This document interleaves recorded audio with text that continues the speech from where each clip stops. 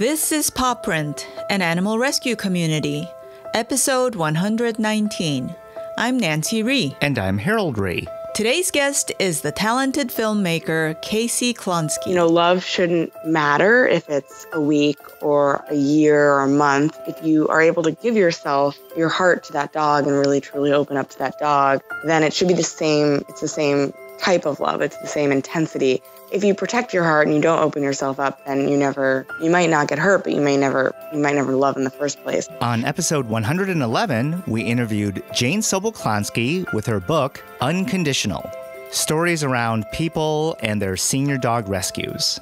Well, in today's episode, her daughter, Kacey, has joined forces with Jane to create a variety of videos as well as a documentary film called Love Unleashed. We're so glad to have Kacey on, sharing her story as a filmmaker, as well as her own thoughts on rescue. If you want to learn more about Kacey Klonsky and Love Unleashed, go to our show notes at thisispawprint.com slash 119. That's the number 119. Love Unleashed actually was a film that came about as part of a, a larger project that I have been working on with my mom, who is a photographer um, who started photographing people and their senior dogs and really photographing the relationship between them um, and their special bond and connection. So I started working with her um, a few years into the project. And as a filmmaker, I started traveling around with her and interviewing her subjects. Um, and it turned into a video series that we have, which is online, and we're still working on that. And we have a new video every couple of weeks or so. And for me, that really opened up this big kind of like window into all the possibilities of these stories of people and how to stitch them all together. And it just, there was so much to tell. So I started to work on this longer film, which is Love Unleashed, um, that's been in festivals last for the past year. Great. So how did you go from these, you know, shorter segments to actually kind of putting them all together to make a cohesive short film? Well, it was something that I'd sort of always wanted to do in the back of my mind, kind of like halfway through the filming process, which was over the course of a couple of years.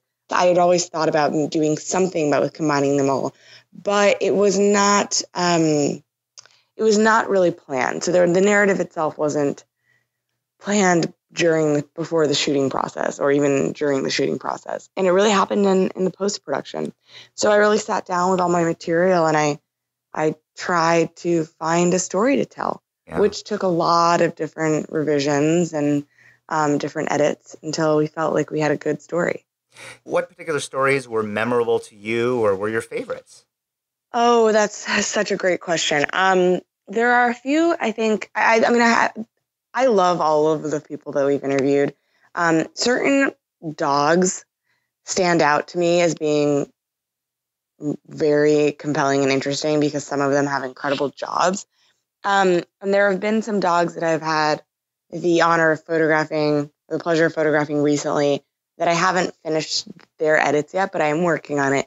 And one dog in particular we photographed this past summer. We've gotten very into working dogs. Um, and I think that's that's something that we're very compelled to work in the future towards um, sharing more stories of dogs who actually help in society by giving back, by having a job.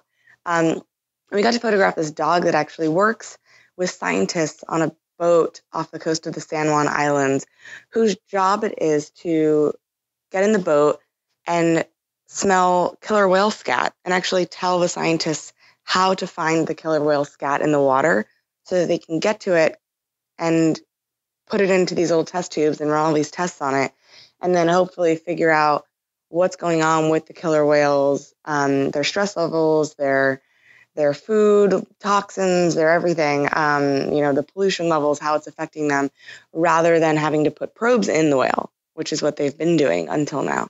Um, and so this dog, without having any idea, the dog doesn't know obviously that it's doing this amazing thing, um, but it but it has this job that is helping to save the lives of whales, which is amazing.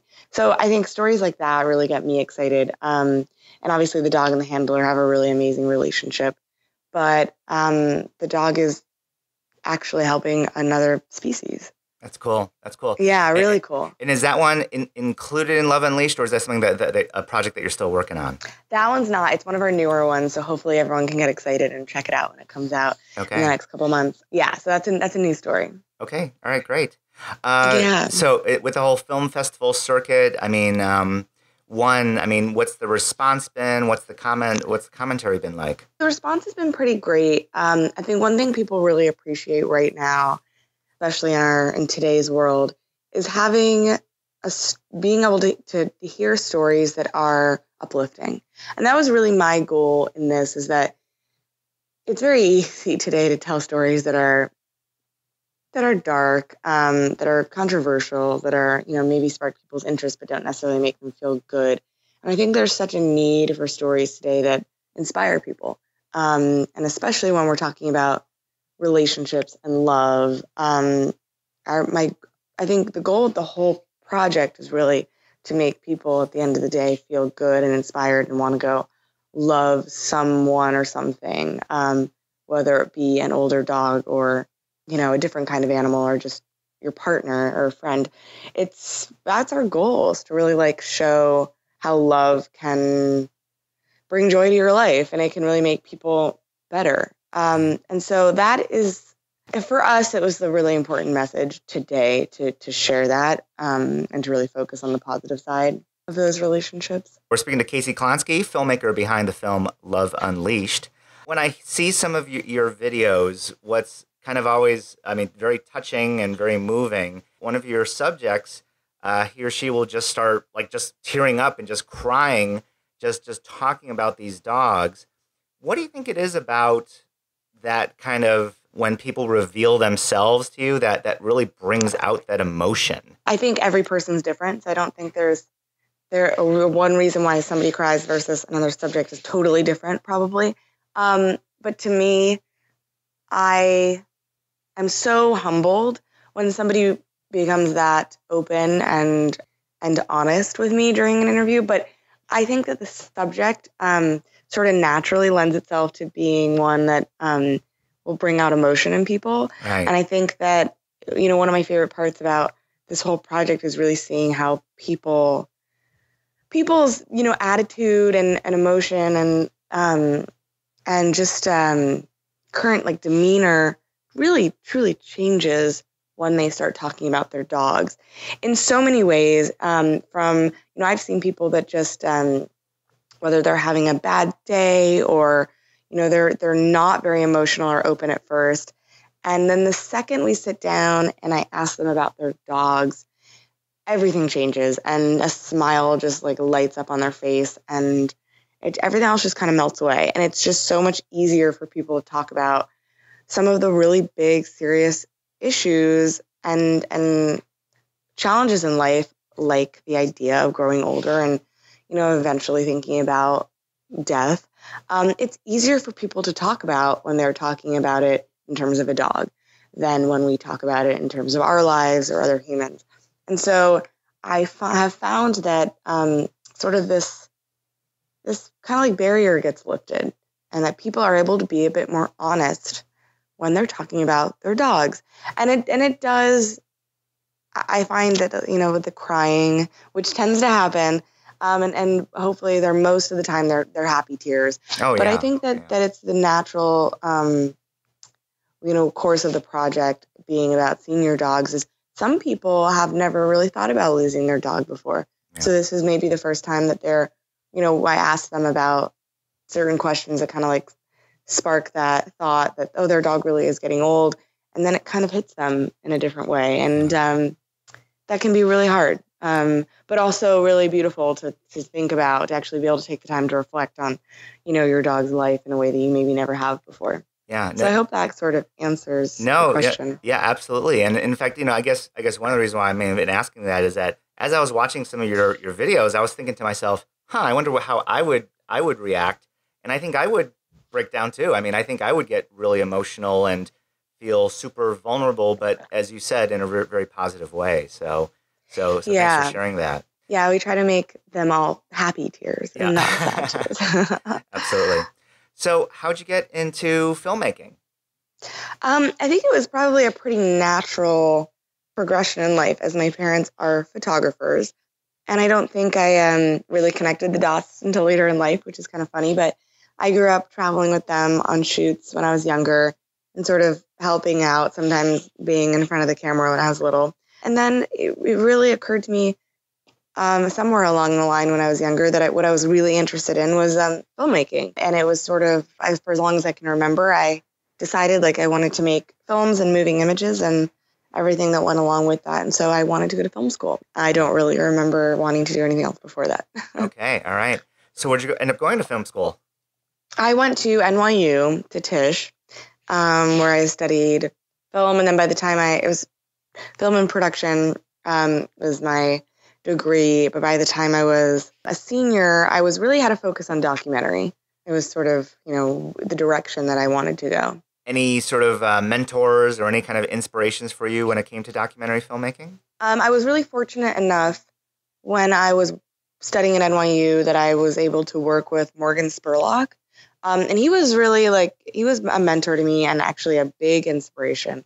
Um, and that was an amazing place to grow and learn while I was at school as well, um, to learn from someone like him. So he really inspired me to kind of go after documentary filmmaking in a whole, you know, separate way.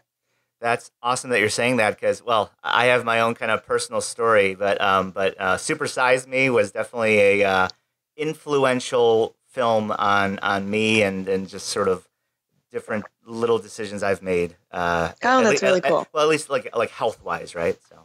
Right. Yeah. Hopefully, it inspired a lot of people. Yeah. Um, yeah, he's a pretty amazing guy, and so working with him was was special, um, and it definitely inspired me to continue pushing documentary and to feel like there's a, you know, a career opportunity in it too, because that that can be hard with documentary to sometimes like see that possibility. So that actually leads me to my my next question, which is, you know, in this age of digital, someone with a, a phone can make a video, you know, load it up onto YouTube, and and in some cases, right, get get just thousands and thousands, maybe even millions of of uh, people watching so much is being produced now at such a faster rate.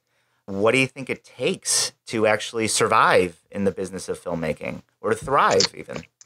Hmm. When I figure that out, I'll tell you. That's right. yeah, I mean it's it's really true. I think you nailed it on the head. Um, and I think that if we all had the answer to that now, um, life would probably be really easy.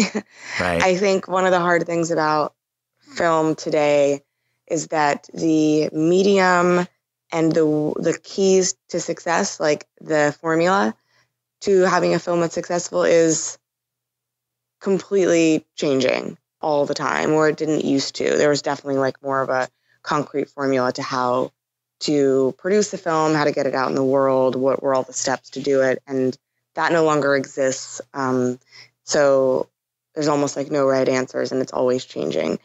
And the competition is really fierce because anybody can make photos and movies now um, with almost no equipment. And so differentiating your reading, differentiating yourself can be really hard too.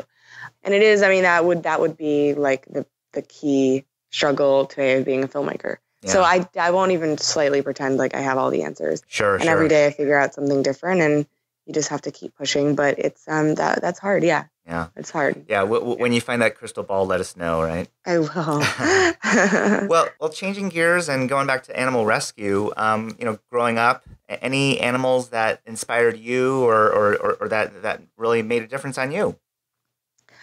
Oh, totally. Although I don't know if I have one in particular. Um, I always have grown up with animals we actually never had a rescue animal growing up. And it's funny because now my mom will say, she'll be the first one to say that, you know, her next dog is going to be a rescue. It just kind of never occurred to us. And it's definitely, when growing up, it wasn't that big on the East Coast to rescue dogs as much as it was to get them from a breeder. Um, so, so we, I don't have a lot of great rescue stories. It's fine. It doesn't have to be a rescue story. And and just to let you know, a lot of our guests have have mentioned that that they grew up with with dogs that they purchased from breeders and then it's only lately, right, that that rescue mm-hmm. has has sort of gotten to the uh, consciousness, right? Right. Yeah, it's it's true, and it's, it's been interesting to watch that grow since starting this project. I, I've just it's become truly so much more prevalent, and it always I think has been on the West Coast more than the East Coast. But now I see that it's, you know, made its way to places where, you know, people always just used to get breeders, um, dogs from breeders, not think twice about it. I am seeing a lot more rescue, which is really cool, um, and awareness around rescue. But I've always, we've always had dogs my whole life. And actually, I mean, I would say the dog that my mom has now um, has been a huge influence um, on my life and my love for animals. His name is Charlie. He's a golden doodle, and Charlie is truly part of the family. Um, he, I mean, we've always had tons of great dogs, but we have two now, and one is a golden retriever, and one's Charlie the golden doodle. And um, we always say that golden retrievers, he's the dog of the house, and then Charlie is another person, and it's just so funny because he he he's sometimes smarter than we are, and it really kind of like reminds me whenever I'm with him that you can't assume that dogs don't know what's going on because sometimes they they truly do know. Um, and they have so much emotion. Um, and not all dogs i will admit not all dogs but some dogs like they know they know what's up. And you can't take that for granted at all um, and he's sort of kind of like brings me back to that place of um, awareness of why we have to be so good to our animals well, switching from you know, uh, as you said, you know, getting used to to dogs growing up, not from rescue, but now entering the world of rescue uh, with your documentary and and and uh, and different aspects. What's been your sort of impression of the animal rescue world or the animal rescue community at large? The animal rescue community is amazing. One of the things that struck me, we I mean, we've been really lucky to be involved with some really wonderful rescue organizations. And one in particular in the Bay Area that we've worked really closely with called Muttville Senior Dog Rescue. When we started working with them, this really like opened my eyes. Um, they have a program called Fospice Care, which I had never heard of before we started working with them, but it is a program that takes in dogs that are no longer they're not adoptable because they're are either so old or they're sick or or some something in their health means that they they probably aren't adoptable, won't live that long. However, they have a program called Fospice, so they have people that volunteer to take dogs in as foster parents, but more for hospice, um, just to make this dog feel as comfortable in the end of their life um, for as long as they have. And there is actually a waiting list of Fospice um, people waiting for dogs to come. That is how many people through this program want to be able to, to provide this service for these animals. And, and that just blew my mind when I found that out. So I, I've been really fortunate to actually meet a bunch of these people and interview them and hear some of their stories and their experiences. And I think that one of my first questions to, you know, one of my subjects who was amazing, her name is Linda, and she is in my film. So you'll you'll see her if you see Love Unleashed.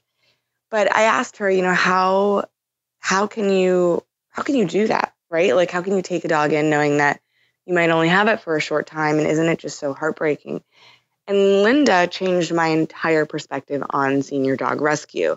And her response was truly incredible. It was that, you know, love shouldn't matter if it's a week or a year or a month. And if you are able to give yourself your heart to that dog and really truly open up to that dog, then it should be the same. It's the same type of love. It's the same intensity. And, you know, you don't, if you protect your heart and you don't open yourself up, then you never get the chance of, of loving. You might, you might not get hurt, but you may never, you might never love in the first place.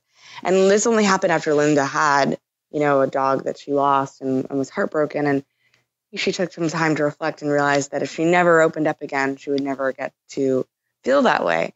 So now she has this philosophy that, you know, whether I get to give, you know, this love to an animal for a week or a month, it's going to be that animal's best week or best month. Um, and that we're in such a, you know, amazing place to be able to give that to an animal and not to give it would be kind of a shame. And so I had never thought about senior rescue that way. I think there are a lot of people that are really hesitant to take in senior dogs because you know you don't know how long you're going to have them and you don't want to get too attached and it's too hard. I think that's probably the reason why certain people don't get dogs at all because dogs are not with us for very long in the scheme of things, but especially senior dogs. So I think, you know, if you kind of change your outlook on it, it really helps a lot. And um, and Linda with Muttville Senior Rescue, she helped me see that. And I really just it it opened my eyes. And I've always wanted to pass her her story on um, to other people. Kacey, so well said. Thanks for sharing that. That was amazing. Um, yeah. How well, do she said it? Yeah. Well, how, yeah. well, you did a great job of recapping it. So thank you. How do folks find you? How do folks find Love Unleashed? You can go to our uh, Project Unconditional's website, which is projectunconditional.info. Um, and I we have links to all of our current um, videos that are online, the trailers online. We also have a Facebook page. It's called Unconditional Stories. The film itself, Love Unleashed, will be released soon, probably in the next couple of months. And we will be posting um, a countdown to that and where you can find it. And We'll point people in that direction. And until then, we have a web series. So you should tune in and see our web series. Unconditional Stories Facebook page is probably the best way to find it. And then, yeah, you can contact me through there. KaceyKlonsky.com is my website. And so if anyone wants to contact me directly, they're more than welcome. Um, yeah, and we love to hear from new people. Love people to share their stories about dogs and anything else. So I totally encourage people to reach out. Yeah. Well, last question. I mean, really, probably making this film or making all these different videos in, in, a, in a way for you must have been a crash course in animal rescue. Uh, knowing what you know now, uh, if you had that magic wand, what would you do to uh, to change the state of animal rescue? You know, I don't know if I would change the state of animal rescue. I think it's incredible that we have animal rescue. Um, just the other week, we are in the Bay Area, and I met someone someone who's a husband and wife team, and they actually take monthly trips in a van down to Mexico. They cross the border of Mexico and they have um, they have this nonprofit, um, and they they pick up as many strays as they can from Mexico um, that otherwise would be going to you know very high kill shelters in Mexico, and they actually bring them back across the border, and they give them to homes when they get back up to California, and or up to the Bay Area, and almost all all of their dogs you know are adopted out really quickly, and we met a bunch of dogs, and some of them had recently you know had legs amputated or um, they were missing, you know, eye because when he found them, they they didn't have a leg or, you know, the leg was so badly broken it, you know, had to be fixed. So he brings them up and gives them to the best vets that he can find, and he has them fixed, and then they find amazing homes. And this couple was so inspiring. I got to meet a bunch of the dogs that he had just recently brought back, and um, that to me, like right there, stories like that about animal rescue today, like I wouldn't do a thing to change that. I, I would love to have you know more people um, or more i would love to hear about more people doing that but it's incredible to me that we have people doing that at all. So i think animal rescue is definitely going in a, in a very positive direction and the awareness that's being spread is is amazing. And so i would say to anybody involved or you know working with animal rescue just you're doing an amazing job and and um, there are lots of people that appreciate what you do and so many dogs who appreciate it. So thank you. We want to say thank you to Kacey Klonsky for sharing her story. If you want to learn more about Kacey, go to our website, kaceyklonsky.com, or go to our show notes at thisispawprint.com slash 119. If you'd like to meet me or Nancy on social media, Facebook, Instagram, or Twitter, search for the word This is Pawprint, all one word. We just reached the thousand follower milestone on our Instagram page, so make sure to hit follow and join the conversation. If you'd like to listen to more episodes of Pawprint, you can find us on your favorite podcast app, such as Apple Podcasts, also known as iTunes, SoundCloud, and iHeartRadio. Search for Pawprint Animal Rescue and hit the subscribe button to get the latest episodes immediately. Stay tuned for our next couple episodes. We have a really special treat for any of you who have dealt with separation anxiety disorder. We have a special double bill. Irith Bloom, our favorite positive reinforcement dog trainer, has recorded a special episode just around separation anxiety. And right after that, one of the foremost experts in separation anxiety disorder, Malena DeMartini, will be our next special guest. We hope you join us for this special double bill. We want to say thank you to all of you for sharing Paw Print with your friends and family. We've been listened to in over 120 countries and territories, and it's all due to your amazing support. So thank you. And remember, you spread a positive message of love and peace by saving an animal. Have a great day, everyone, and see you next time on Paw, Paw Print is a production of EVER Education. You can't handle the truth.